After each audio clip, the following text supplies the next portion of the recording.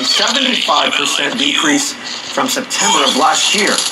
So far this fiscal year, agents have reported